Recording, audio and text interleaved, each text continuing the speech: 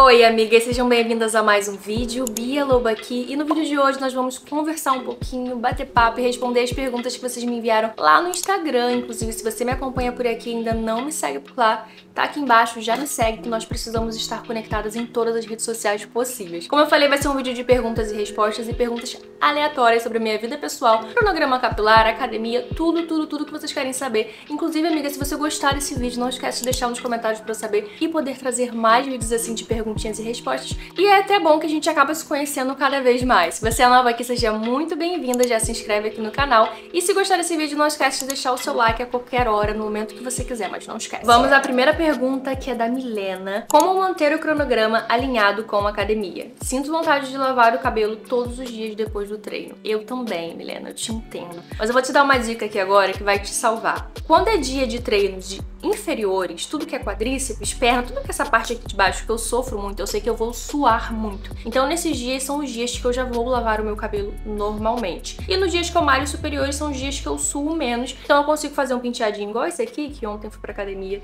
e fiz esse penteadinho, inclusive tá aqui, ó, todo cheio de frizz ainda, mas eu consigo segurar mais o meu cabelo. Se eu for com ele solto e malhar e suar muito, muito, muito, aí meu amor, não tem como, eu vou ter que lavar todos os dias. E se você sentir necessidade de lavar o seu cabelo todos os dias e quiser lavar lavar também, não tem problema nenhum, gente. Nesse mundo de cuidados com o cabelo, tem muitas inverdades e tem muita gente que quer ditar regras sobre cuidados com o cabelo. Quando, na verdade, Cuidados com o cabelo é algo muito pessoal, é algo muito flexível também. Tem épocas que eu lavo meu cabelo todos os dias, principalmente no verão, quando eu sinto essa necessidade de lavar. Meu cabelo não sofre por isso. O que você pode fazer também para amenizar o impacto do shampoo, né, essa ação detergente que às vezes acaba dando uma ressecada no cabelo, é fazer o uso do pré-poo nas lavagens, aumentar o uso desse pré-poo. Por exemplo, se eu lavo meu cabelo três vezes na semana, eu faço pré-poo de uma a duas vezes nas lavagens que eu faço, mas se eu lavo todos os dias, eu faço aí pelo menos pré-poo três vezes na semana. Então você consegue ir flexibilizando isso. Se você faz o uso da máscara, vamos supor, vamos montar aqui. Na sexta-feira.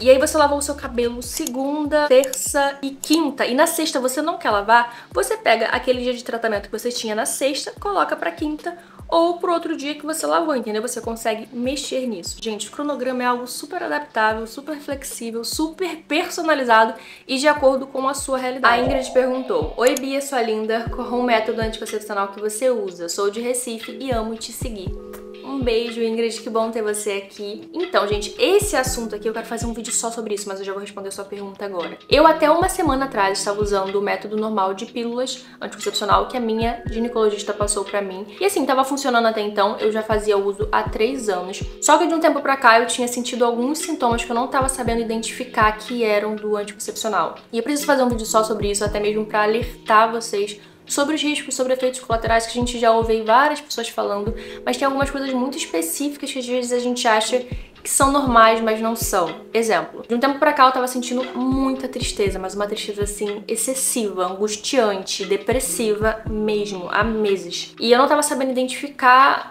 da onde estava vindo isso, porque eu sempre fui uma pessoa muito alegre, sabe? Eu sempre fui uma pessoa muito positiva e é uma coisa minha. Eu nunca tive pensamentos e essa angústia como eu estava tendo. Tristeza a gente tem normal com as situações da vida, mas quando a tristeza se torna uma constante sem nenhum motivo, aí tem alguma coisa errada. Óbvio que tem que ver se são realmente outros fatores aí, ou talvez uma depressão mesmo, situações da sua vida, ou que você desencadeou uma depressão, mas eu sentia uma tristeza muito grande entre várias outras coisas, dor de cabeça, enjoo demais, dor no estômago, estômago, inchaço e todas essas coisas, que já vem escrito na bula, às vezes a gente acaba não lendo a bula dos remédios, mas principalmente desses remédios hormonais, contraceptivos e tudo mais, a gente tem que observar. Eu sou muito atenta porque meu ciclo é muito certo, então qualquer coisinha assim diferente no meu corpo, eu já fico ligada. O que, que pode ser isso? Olha, isso aqui tá diferente. Então, sabe, eu sempre fico ligada nessas coisas, eu sou muito pilhada nessas coisas. Então, eu fiquei um mês sem tomar, no mês passado eu fiquei um mês assim direto. Eu falei, ah, vou parar um pouquinho só pra, né, ver como meu corpo vai reagir. E eu tive um mês bem bom, assim, bem produtivo, eu fiquei mais viva, literalmente, me sentia mais viva, mais disposta. E até falei com o marido, falei assim, nossa, minha TPM nem foi forte esse mês, porque minha filha, quando eu fico irritada, eu fico irritadíssima. Depois disso, eu falei, ah, vou voltar com o meu remédio. Eu, eu me senti muito bem, mas eu não conseguia identificar, sabe, que era de fato remédio. Só que eu tava numa fase boa e ok. Quando eu comecei e voltei, depois desse mês, quando eu voltei a tomar, eu senti, assim, menos de uma semana já aquela sensação ruim, aquela angústia, aquela dor no estômago, a dor de cabeça, o inchaço, tudo junto. E eu falei, cara, não é possível. É o remédio. E aí eu fui pesquisar e eu vi que várias outras meninas também têm esses sintomas. Não achei muitos vídeos sobre isso, mas achei alguns que para mim foram, assim, importantes porque são as mesmas coisas que eu estava sentindo. E eu já peguei o contato de uma ginecologista aqui em Lisboa para ir na consulta e conversar com ela o que a gente pode fazer para alinhar, mas eu não quero mais tomar, gente, o anticoncepcional. Assim, me ajudou muito porque na questão de cólica eu tinha cólicas muito fortes e depois que eu tava tomando diminuiu assim drasticamente. Tenho um pouco de medo disso voltar, sabe? Mas assim, o mal que tava me fazendo nesse sentido de tristeza, irritabilidade, inchaço, dor de cabeça, enjoo, não compensa. E sim, tem várias outras formas de você se prevenir sem ser enchendo seu corpo de hormônio, sabe? Próxima perguntinha é da Gleice. Ela perguntou qual o melhor tipo de escova pente para cabelos cacheados. Gente, eu já usei todos os tipos de escovas e pentes possíveis. Inclusive o pente largo é muito indicado para quem tem cabelo cacheado. Só que a escova que eu mais me adaptei e é a melhor escova que eu já usei, e assim, eu compro, recompro, e eu acho que vai ser a escova da minha vida, é da Tangle Teaser. Tem a rosinha e tem a roxinha também. A rosinha é mais para cabelos finos e a roxinha é para cabelos cacheados, cabelos mais grossinhos. Então ela tem as cerdas um pouquinho mais firmes e essa aqui rosinha tem as cerdas um pouquinho mais flexíveis, sabe? Eu me dou melhor com essa para cabelo fino, porque meu cabelo é fino realmente, mas eu comprei essa outra roxinha que é para cabelo cacheado, mais para testar também. É uma escova um pouquinho cara, principalmente no Brasil, aqui é muito mais acessível, mas no Brasil ela é um pouquinho cara. Porém, quando eu comprei, eu comprei no Brasil, eu fiz esse investimento e para mim valeu muito a pena. Primeiro que ela desembaraça o cabelo super fácil no banho, é ideal desembaraçar no banho mesmo. Então, quando eu passo o condicionador, eu já desembaraço meu cabelo ali. O cabelo não cai quase nada, não quebra quase nada, não puxa o cabelo, aquela sensação que a gente tem de ficar penteando assim, ó. Ela não dá essa sensação, então eu recomendo essa escova pra todo mundo. Só quando você conhecer que você vai entender. Inclusive, eu vou ver se eu acho o link dela, já deixo pra vocês também na descrição do vídeo. A Aline perguntou: Fiz a transição, mas não me gosto com cachos. O que fazer? Aline, primeiro que a transição é algo muito difícil. E eu falo não porque eu passei, porque eu não passei pela transição, mas eu acompanhei de perto a transição capilar da minha mãe e ela cortou o cabelo bem curtinho e ela teve vários problemas com autoestima, de não se sentir bonita, de não se encontrar, porque por muitos anos ela alisou o cabelo dela. Hoje ela continua com o cabelo cacheado, mas até chegar no cabelo dela como está hoje, demorou muito, foi um processo e hoje ela é completamente apaixonada pelo cabelo dela. Eu também sou, o cabelo da minha mãe é muito lindo, ela é muito linda. Óbvio que como você falou aqui, você já passou pela transição e você não tá gostando. Se você se preferir com o cabelo liso, faça isso. A gente tem que entender que cabelo não é uma ditadura. Não é porque você nasceu com cabelo X que você tem que ficar com esse cabelo X, que se você não fizer isso, você tá errado. Eu sempre vou inspirar e incentivar vocês a passarem pela transição e a conhecer o cabelo de vocês, porque tem muita gente que nem sabe como é a curvatura, porque é tanto tempo alisando, nunca viu o cabelo de fato. Então, se você tiver essa experiência de você realmente conhecer o seu cabelo e saber se você gosta de você assim, é muito importante. Então, eu indico sim que todo mundo que quiser, óbvio, passe pela transição capilar. Tenha paciência, porque o cabelo muda muito nesse processo. E eu não sei se você já faz cronograma, mas também comece um cronograma capilar que ajuda muito na estética do cabelo, na maciez, no brilho. E o que você precisar e tiver dúvidas também de produtos ou qualquer coisa, me chama lá no Instagram que vai ser um prazer te ajudar. A Kátia mandou o seguinte: gostava de investir em material de gravação. Pode fazer um tour pelos seus equipamentos, programas. E a Cheyenne também coloquei em conjunto aqui Quais editores de vídeo você usa? É de uma qualidade surreal. Muito obrigada, Cheyenne. E Kátia é a maravilhosa do skincare, inclusive já sigam ela lá, que ela dá várias dicas de skincare, o conteúdo dela é bem legal. Então vamos aos meus equipamentos. Se vocês quiserem eu faço um vídeo também só sobre isso, eu mostro detalhes de cada um, mas aqui eu vou citar só o que eu uso mesmo. O celular, que é o 12 Pro Max, o iPhone 12 Pro Max. A câmera é a Sony ZV-E10, eu adquiri ela em janeiro desse ano e é muito maravilhosa. Primeiro que ela é compacta, então eu consigo levar ela e manusear muito bem. E a lente que eu uso é a Viltrox 23mm f1.4, se eu não me engano. Vou deixar tudo na descrição do vídeo também pra vocês. O microfone é da Rod, eu acho que é assim que fala. Rod, Rod. E eu não lembro agora o modelo, mas eu deixo também aqui e deixo na descrição. E o editor que eu uso é o CapCut só tá? Editor de vídeo é só o CapCut, tanto no celular quanto no iMac. Eu também, para editar meus vídeos, uso o iMac e eu tenho nele baixado lá o CapCut, mas em qualquer computador você consegue. A Olga perguntou: o seu cabelo é castanho escuro ou preto? A cor é natural? O cabelo é castanho escuro. Por muito tempo eu pintei o meu cabelo de preto, Não sei por que tive esse surto, mas eu pintava o meu cabelo de preto e hoje em dia, assim, deve ter o quê? Uns 4, 5 anos que eu não pinto e ele tá na cor totalmente natural. Próxima. Oi, me diz o nome do seu devocional. Eu li uma página que você postou e gostei bastante. Vocês ficam doidas com o meu devocional. E é esse livrinho aqui, ó Café com Deus Pai. É um livro auxiliar no devocional, porque o principal livro do seu devocional é a Bíblia. Posso compartilhar também com vocês o passo a passo do meu. Mas esse livro me ajuda muito porque ele traz temas que batem muito com a realidade, com coisas que a gente está passando no momento. E tem ali os textos base bíblicos para você colocar e, e, ter um embasamento e ter uma introdução, né, pro seu devocional. E esse livro é muito maravilhoso. Ele tem aqui os dias de cada mês e uma mensagem e um tema ali para cada dia, com a leitura bíblica também.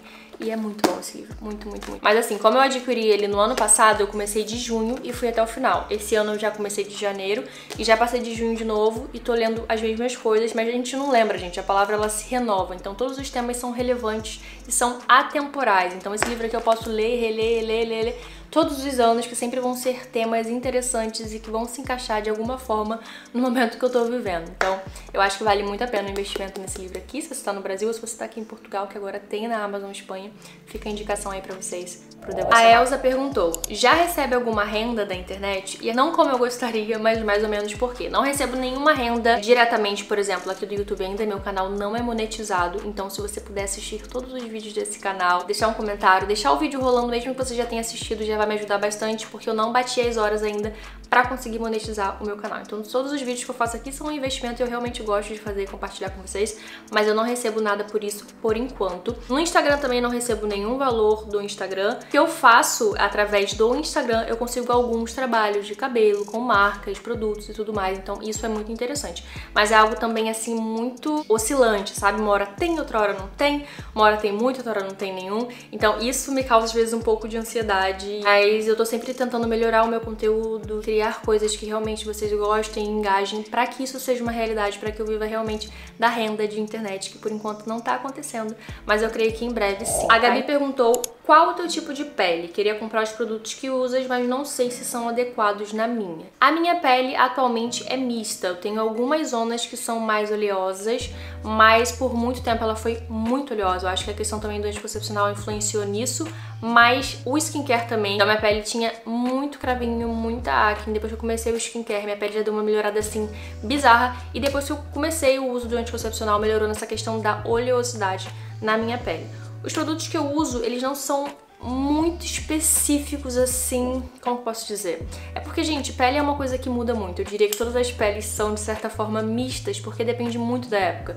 Tem época que tá muito calor, a sua pele vai ficar um pouquinho mais seca ou mais oleosa, e cada pele responde de uma forma, sabe? Então, assim, minha pele também depende muito da época. Então, tenho produtos que são pra pele acneica, por exemplo, que é pra quando minha pele tá muito oleosa, eu preciso de um produto que seja mais secante. Eu tenho produtos pra pele seca, que não são produtos oleosos, eu não gosto de produtos produtos oleosos, assim, no sentido de deixar a pele encebada, sabe? Sempre prezo por produtos não comedogênicos. São produtos que não causam esses cravinhos, comedões, que são chamados na pele. Então, eu tenho produtos para pele seca aqui, que são muito bons, principalmente os da CeraVe. Eu tenho os produtos para pele mista, pra...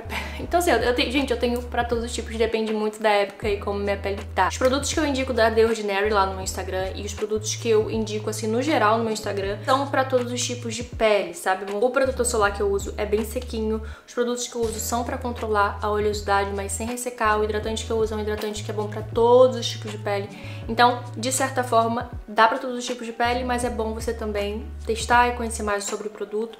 Posso trazer também resenhas sobre cada um desses produtos, sobre composição e tudo sobre esse assunto, tá? Que eu também sou a louca do skincare, adoro falar sobre isso. A última perguntinha da Thalita. Meu cabelo não cresce, como faço para ele crescer?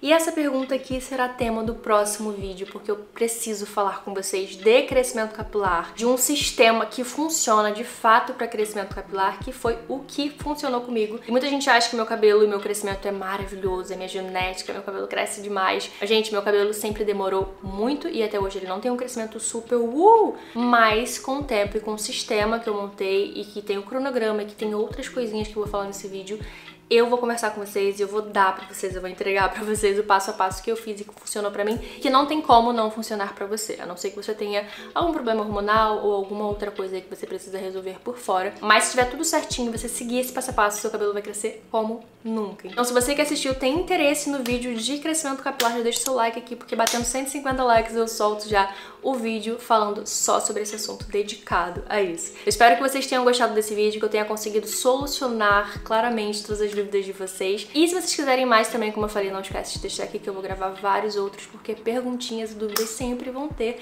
e eu vou sempre amar solucionar elas pra vocês. Muito obrigada por assistir, um beijo, meus amores, e até o próximo vídeo. Tchau!